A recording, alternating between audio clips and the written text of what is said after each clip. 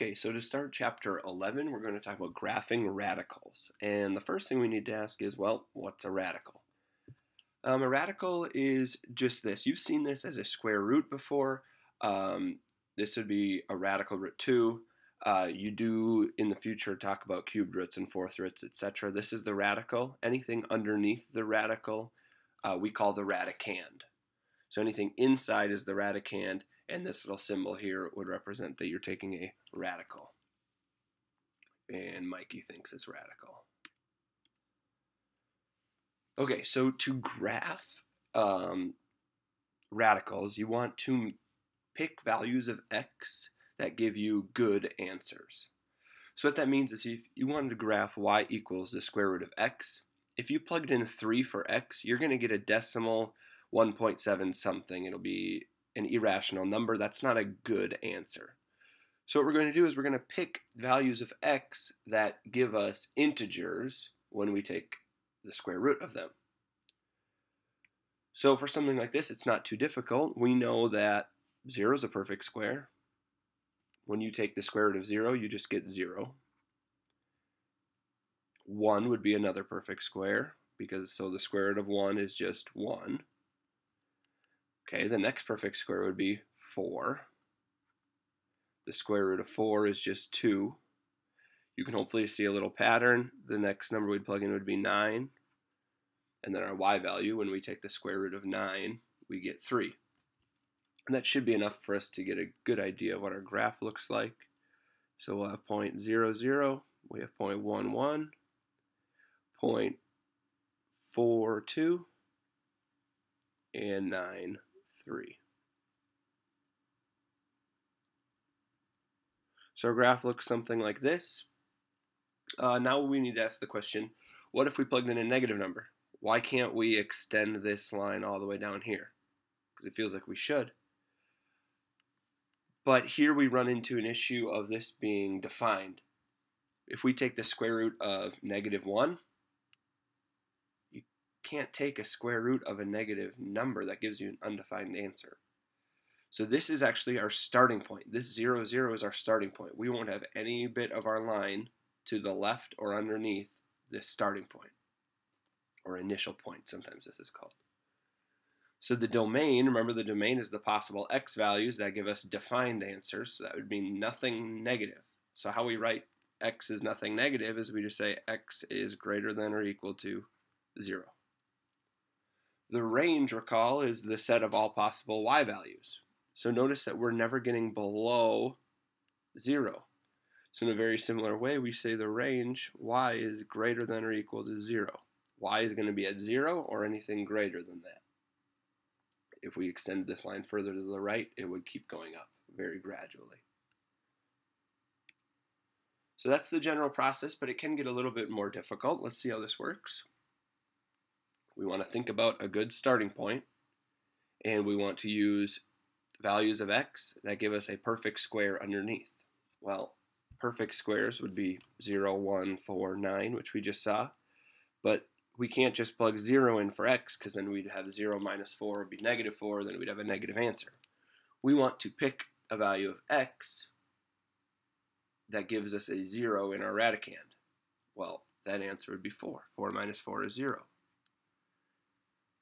So then for our y value, 4 minus 4 is 0, square root of 0 is 0. 0 plus 6 is just 6. Okay, what's the next x value to plug in? What would give us a 1 underneath our square root? The answer would be 5. When we plug 5 in, we have 5 minus 4, which is 1. The square root of 1 is just 1. 1 plus 7, 1 plus 6, excuse me, is 7.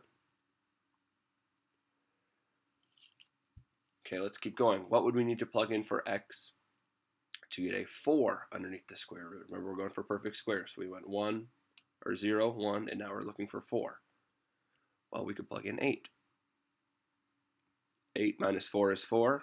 The square root of 4 is 2. 2 plus 6 is 8. So now let's plot this. 4, 6, 1, 2, 3, 4, and then up 1, 2, 3, 4, 5, 6. There's our starting point. Then we have 5, 7. Then we have 8, 8. So our graph is going to start here and curve up like that. Looking now our domain, what values of x are possible? Well, our lowest possible value of x is 4, so x has to be greater than or equal to 4. Similarly, our range, we never get below 6, so y has to be greater than or equal to 6. So here we have the general form of our uh, radical equations. y equals a times the square root of x minus h plus k. And if you ever have a square root uh, equation, you'll always know that hk is the starting point. Notice 4, 6 was our starting point. h in this case was 4. k in this case was 6. So it's a nice little shortcut for us. And then just to note that h is being subtracted. Um, so then you take h plus any perfect square to find some easy points, which is effectively what we did here. So get just a couple more quickly. Now that we have this little trick where hk is our starting point, graphing this isn't too bad. Remember x plus 6 would translate to a negative 6 as our starting point because the general form is minus h. Here we're adding something, so we're just going to take the opposite. Subtract the opposite would be the same as adding. So negative 6 and 3 is our starting point. Okay, now we just go up from there. Plugging in negative 5 to give us 1. 1 times negative 2 is negative 2, plus 3 is just 1. Next perfect square would be 4, so we can plug in negative 2. Square root of 4 is 2. 2 times negative 2 is negative 4. Negative 4 plus 3 then is negative 1. And now we can probably get a decent idea for our graph. 1, 2, 3, 4, 5, 6, and then up 3. Then we have negative 5, 1. Then we have negative 2, negative 1.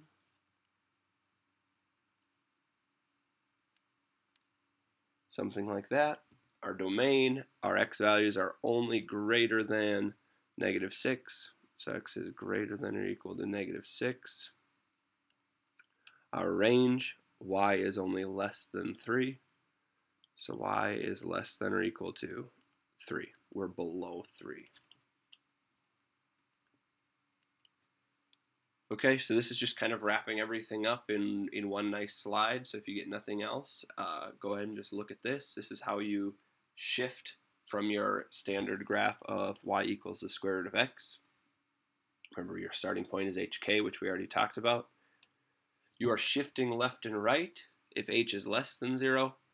Uh, you're shifting left if h is greater than 0. You're shifting to the right, so you're just moving this graph left, right. Um, if your a value is negative, you're going to have a reflection. That's what we saw here. This graph went down when all of our other graphs went up, and that's because this first value is negative. Um, we can stretch or shrink if A is greater than 1 or less than 1. And then just our vertical shift up or down, moving this up or down, uh, depending on what K is. So if K is positive, this is going to shift up. If K is negative, it'll shift down. And that's how you would do your comparisons to graphs of square root of x, just if we wanted to speak them out. Here, we have a shift left 6,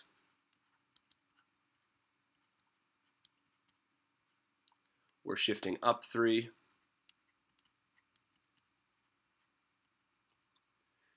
We're stretching by two.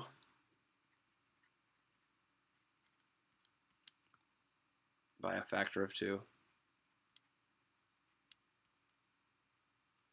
And then we're also reflecting vertically. So this one actually had all those different kinds of uh, transformations. On the homework, you will be asked to compare to the graph of uh, the square root of x. I'm just looking for something like that. Shift left 6, shift up 3. If there's a stretch, there's a stretch. If there's a reflection, say it. So that's all it's going for. Um, I'm more focused on how you can graph it, how well you can graph it, um, but that is a part of the homework that I wanted to touch on. And that'll wrap us up for 11.1.